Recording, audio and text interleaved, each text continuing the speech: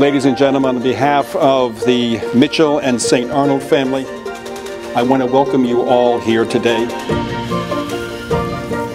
We have gathered here this afternoon for the sacred purpose of joining together Jeremy and Shelby in the bonds of holy matrimony.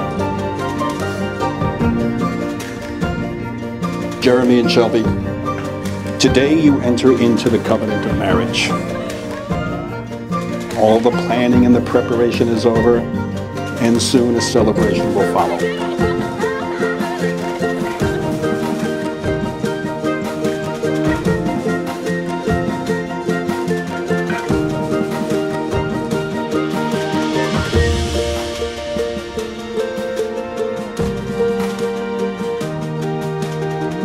Hi, Jeremy, take you, Shelby, to be my wife.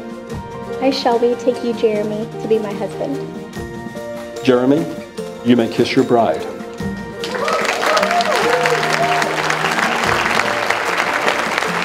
Ladies and gentlemen, Mr. and Mrs. Jeremy Mitchell.